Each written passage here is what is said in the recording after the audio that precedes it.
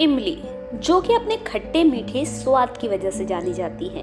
इमली का नाम लेते ही लोगों के मुँह में पानी आ जाता है। शायद ही कोई हो जिसे इमली ना पसंद हो। भारतीय खाने के लगभग हर चीज़ में इमली का यूज़ किया जाता है।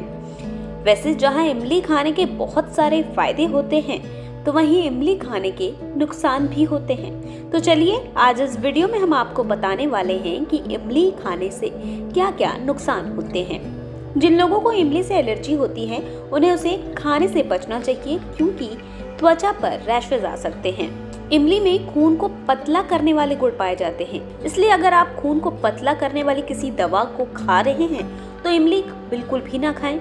जिन लोगों को गले में खराश की दिक्कत होती है, उन्हें भी इमली नहीं खानी चाहिए। डायबिटीज़ के पेशेंट जो इंसुलिन या शुगर संबंधित दवा का यूज़ करते हैं, उन्हें इमली का यूज़ नहीं करना चाहिए।